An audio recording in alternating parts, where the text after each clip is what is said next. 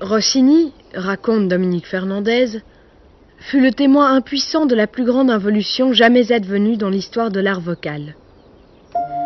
Le passage, presque sans transition, d'une époque où les castrats chantaient les premiers rôles sur toutes les scènes lyriques du monde, à une époque où ils disparurent complètement, proscrits par les nouvelles idées humanitaires. Mais aussi, et cet aspect des choses, on ne le dit jamais, par les nouveaux dogmes capitalistes du rendement, par la nouvelle éthique de la famille et l'obsession démographique.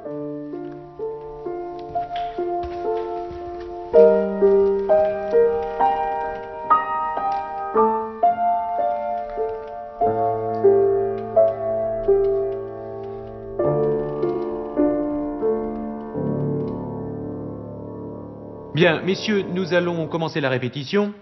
Auparavant, je vais vérifier vos respirations. Alors, Hyacinthe, si tu veux bien commencer l'exercice, s'il te plaît. Allons-y. Voilà, tu essayes d'oublier que tu as des poumons et des épaules. Et maintenant, c'est l'abdomen qui fait tout le travail. Tu respires profondément. Voilà, c'est bien. Parfait.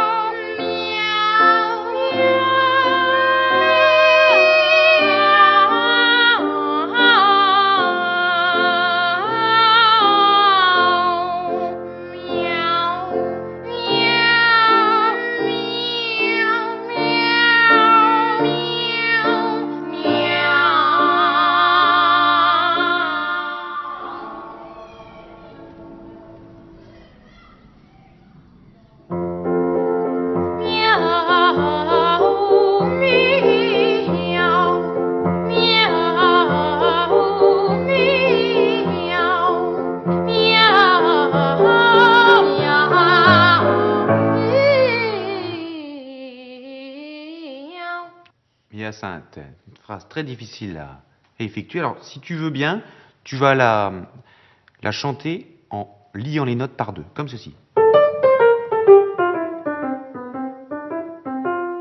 Vas-y.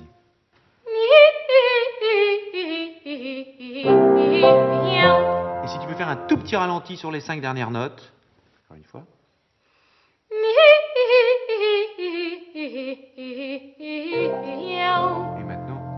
Tu enchaînes tout pour donner de la dynamique.